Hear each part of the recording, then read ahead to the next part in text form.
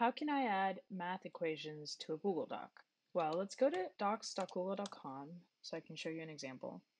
I can create a new document by clicking this add button here. And I'm just going to call this math lesson.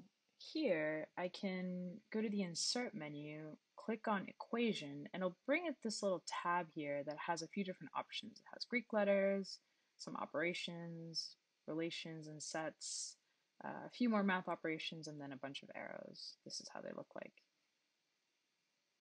And so just uh, go for an example. I can click on new equation and let's just try to add one here. I'm going to zoom in so you can see the screen a little better. And you can see that this blue purple box here sort of shows me the, the border the outline of the equation. If I want to get out of that, I can just click outside of it. Um, and then I can add a new equation, something like this.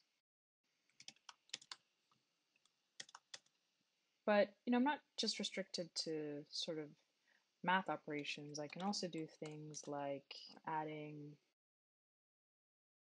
this. I can add Greek letters like pi, for example. And so that's how I can add math equations to a Google Doc.